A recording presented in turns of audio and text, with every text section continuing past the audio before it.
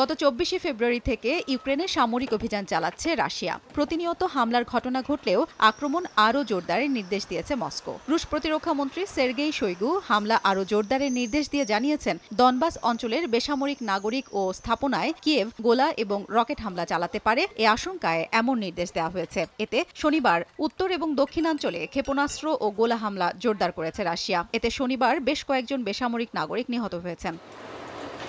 রাশিয়ার সামরিক অভিযান বর্তমানে পূর্ব দনবাস অঞ্চল কেন্দ্রিক হলেও উত্তর ও দক্ষিণ ইউক্রেনের বিভিন্ন অঞ্চলে রুশ সামরিক বাহিনী নতুন করে হামলা করছে। এছাড়া ইউক্রেনের দ্বিতীয় বৃহত্তম শহর খার্কিভেও বোমা হামলা করছে রুশ বাহিনী। ইউক্রেনের উত্তরাঞ্চলীয় শহরগুলোতে দ্বিতীয় দফায় সর্বাত্মক রুশ হামলা হতে পারে বলেও আশঙ্কা করছে কর্তৃপক্ষ। শনিবার ইউক্রেনের চুহুইভ শহরে রুশ হামলায় কয়েকজন বেসামরিক নাগরিক নিহত হয়েছেন। বিধ্বস্ত হয়েছে শিক্ষা প্রতিষ্ঠান ঘরবাড়ি। এই এলাকার পার্শ্ববর্তী সুমি অঞ্চলে রুশ সীমান্তের কাছেই তিনটি শহর ও গ্রামে গোলা হামলা চালিয়েছে রুশ বাহিনী। মস্কোর বিরুদ্ধে ভিনিৎসিয়াতে চিকিৎসা কেন্দ্র ধ্বংসের অভিযোগ করেছে কিয়েভ। এ অবস্থায় ইউক্রেনের প্রেসিডেন্ট ভলোদিমির জেলেন্সকি বলেছেন রাশিয়া যেসব অঞ্চল দখল করেছে সেগুলো আবারও ফিরিয়ে আনা হবে।